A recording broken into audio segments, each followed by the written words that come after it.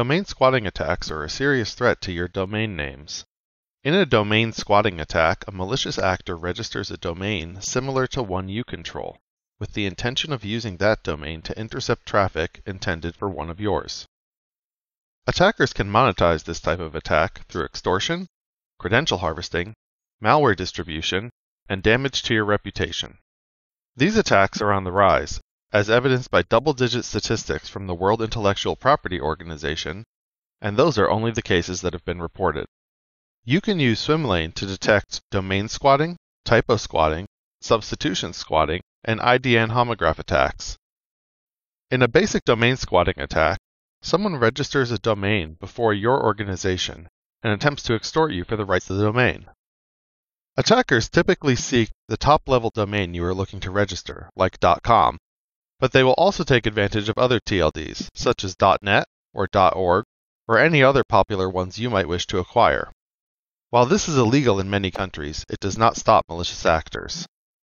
Typo squatting attacks use common typographical errors, such as missing or extra letters, adjacent key swaps, and similar typographic chicanery to attempt to hijack a portion of manually entered attempts to reach a target domain.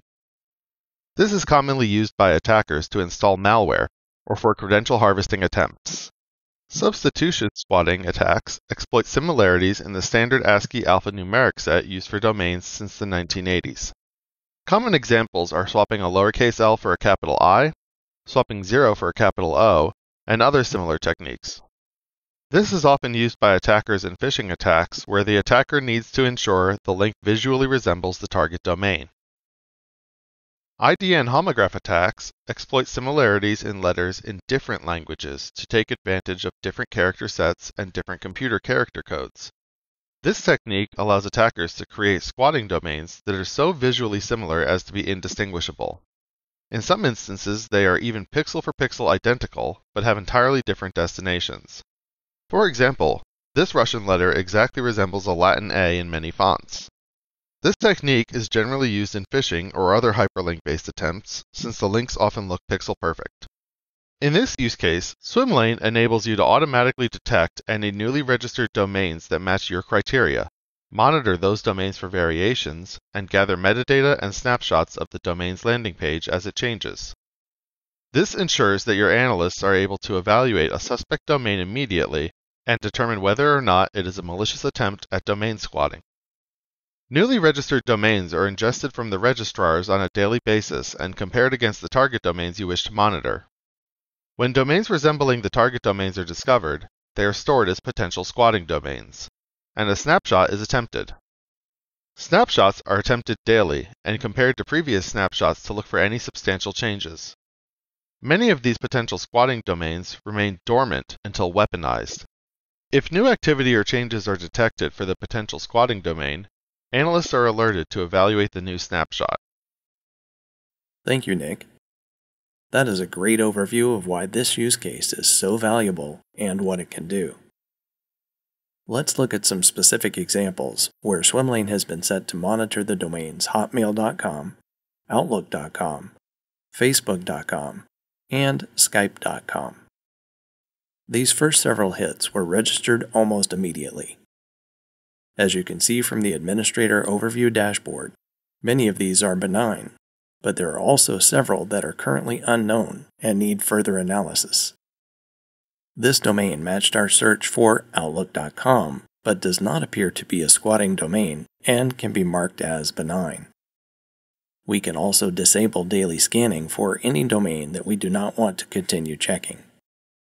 This domain matched our search for hotmail.com, and while it does not currently resolve to an IP address, domains can become weaponized at any moment and begin resolving. Swimlane will continue to check this domain and provide an updated result with analyst notification when a change is detected. This domain matched our search for facebook.com and does resolve to an IP address, but no snapshot is available since the server is not yet hosting a web page. An analyst can still use the Current Snapshot tab to review details and see if there is enough information to make any determination yet. This one could certainly be marked suspicious for now, and Swimlane will update the report of new activity for any changes to suspicious domains when something is detected. This domain matched our search for Facebook.com and looks like an attempt at domain squatting. To further investigate this, an analyst can review the details automatically retrieved by Swimlane to determine if there is a concern with the domain. The Overview tab provides a quick view of the details about the potential squatting domain, the monitored domain that it matched, the matching methods used, details about the snapshots, and more. The Current Snapshots tab provides the most recent screenshot.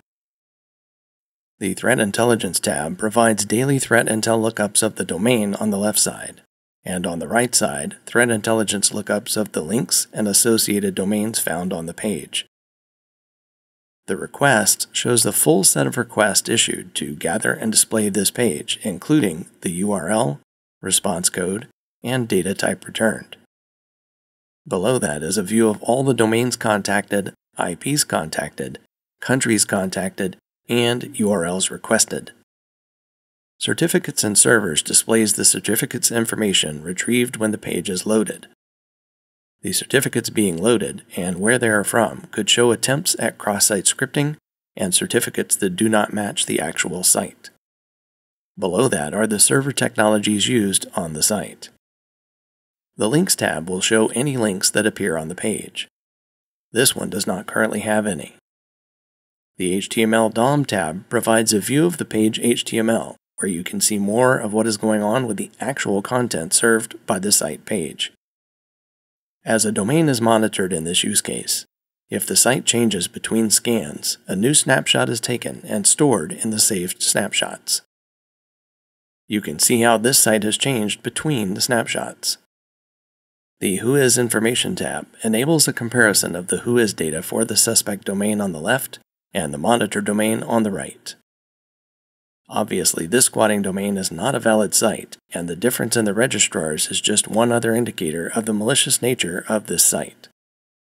In addition to the Whois information automatically populated by Swimlane, the abuse contact email is automatically parsed out of the Whois information and added to the takedown recipient field below making it easy to initiate a takedown request if necessary. The Takedown Information tab is where that can be done.